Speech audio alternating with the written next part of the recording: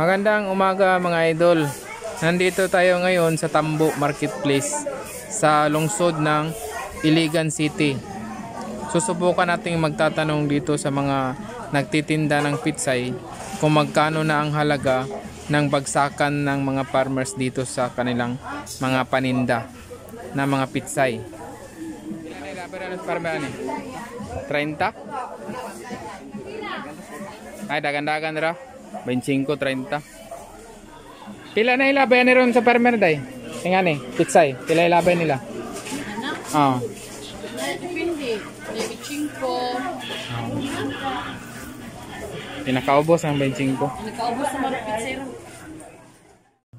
Alam nyo ba, nang nakikita nyong atip ngayon, ay bunga yan ng isang kilong binhi ng pitsay?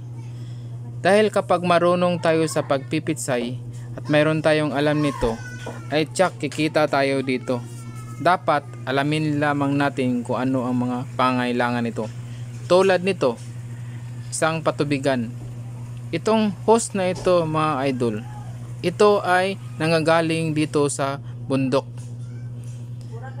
Hanggang sa nakarating ito doon sa kanilang farm. Dapat ay alamin din natin kung saan tayo na area magtatanim upang sa ganun ay hindi tayo malulugi. Para unsa na imong gi-spray ron nay? Para sa kwan eh, sa manana pa. Unsa na siya kwan? Klase nga Kampi sa og daitin. rampis ug daitin. Pero kani di pa ni pwede maharbisan ron no? Di pa, daga sa dito pa bo. Agisa na. Gikan pag kwan Lima. lima kadlaw pwede na. Ah.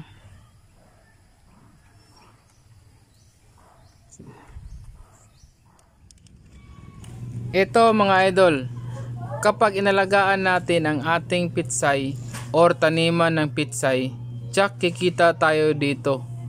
Halimbawa nito, ngayong araw ay nag-harvest sila ng kanilang pitsay pagdating ng 28 days.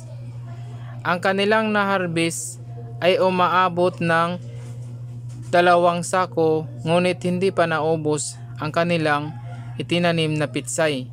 Mandami pa itong naiwan na pwedeng balikan nila bukas. Pag-usapan natin ang income mga idol.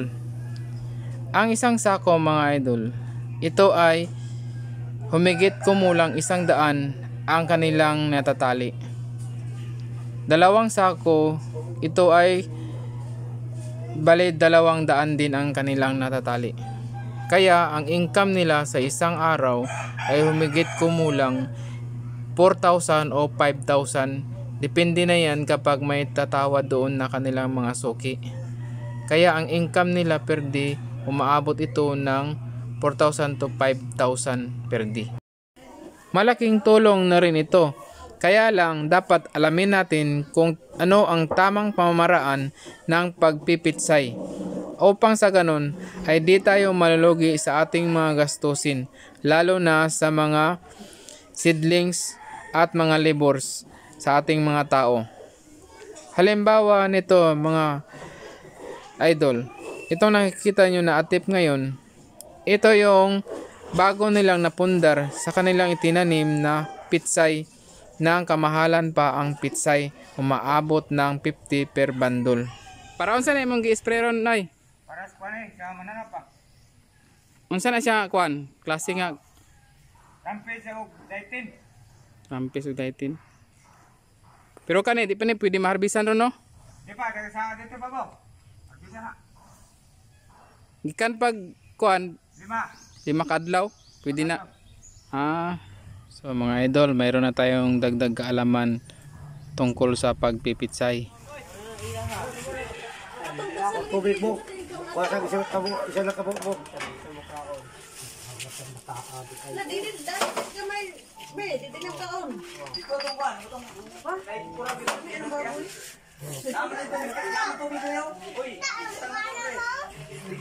Mo na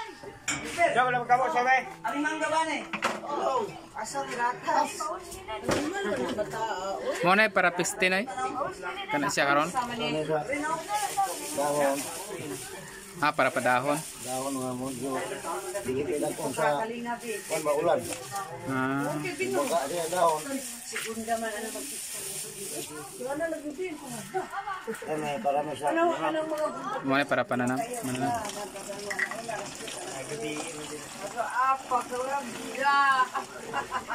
Dito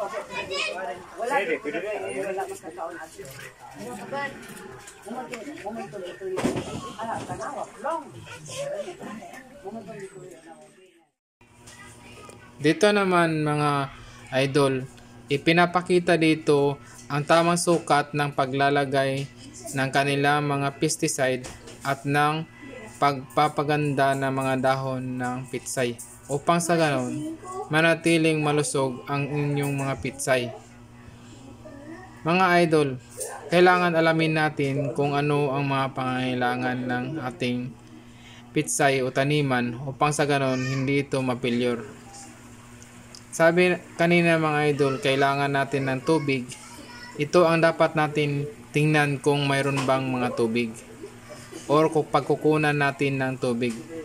Ito ay nanggagaling sa bundok kaya hindi sila nahihirapan sa kanilang pagkuha ng tubig. Mga idol, ang advantage nito kapag mayroon tayong tubig na source ay kapag panahon ng tag-init, hindi tayo nahihirapan sa pagdidilig sa ating mga taniman. Ang isa pa nito mga idol, nakakasave tayo kasi ang ginagamit natin na tubig ay flowing. Kaya walang logi kapag panahon ng tag-init.